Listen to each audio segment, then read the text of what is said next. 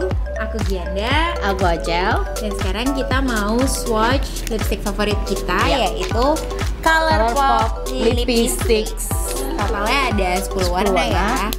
Dan bisa dilihat skin tone kita berdua sangat beda. Jadi kalian bisa lihat swatch lipstick ini di dua skin tone yang berbeda, yang light dan yang medium.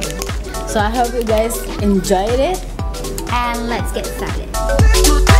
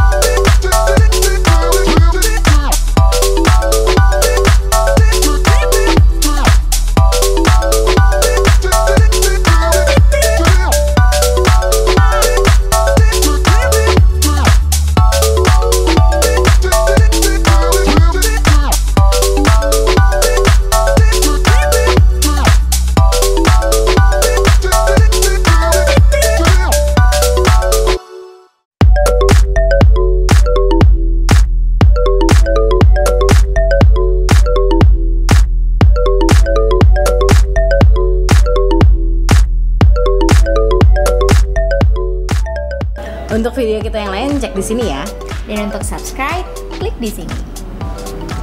Thank, Thank you for watching.